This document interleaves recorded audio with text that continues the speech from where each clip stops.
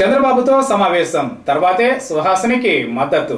కూకటపల్లి బరిలో నిలిచిన నందమూరి సుహాసినికి నటుడు జగపతి బాబు మద్దతు ప్రకటించిన సంగతి తెలిసిందే. రాజకీయాలతో పెద్దగా సంబంధం లేనట్లుగా ఉండే జగపతి బాబు ఈ ప్రకటన చేయడం ఆసక్తిదాయకమే. ఉన్నట్లుండి ఇతడు మద్దతు ప్రకటన చేశాడు. అయితే దీని వెనుక కొంత వేరే కథ నడిచింది. నాలుగైదు రోజుల క్రితం ఏపీ సీఎం చంద్రబాబుతో జగపతి బాబు సమావేశం జరిగింది.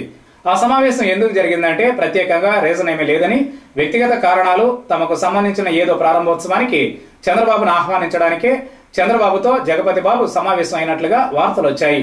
చంద్రబాబుతో సమావేశం తర్వాత జగపతి బాబు కోకటపల్లిలో సుహాసిని గెలిపించాలంటూ పిలుపునిచ్చాడు. సుహాసినితో జగపతి బాబుకు పరిచయం ఉందో లేదో గాని ఆమెను ఒక గొప్ప నాయకురాలుగా అభివర్ణించేశాడు. నాయకురాలు నాగమ్మ మగువ మాంచాల అన్నట్లుగా పొగిడేశాడు. జగపతి పొగడతలు కొంచెం ఓవర్ డోస్లో ఉండడంతో ఏంటి కథ అని ఆరాధిస్తే చంద్రబాబుతో సమావేశం అంశం తెరపైకి వస్తోంది. చంద్రబాబు నాయుడు ఏం చెప్పాడో గాని చంద్రబాబుతో సమావేశం తర్వాతే జగపతి బాబు ఉన్నట్లుండి కూకటపల్లి రాజకీయం గురించి మద్దతు ప్రకటన చేశాడు. ప్రస్తుతం ఉన్న సమాచారం ప్రకారం కూకటపల్లిలో సుహాసినికి మద్దతుగా ఒక కులానికి చెందిన పలువురు సినీ నటులు మరింత మంది ప్రచారానికి దిగొచ్చని అంచనా.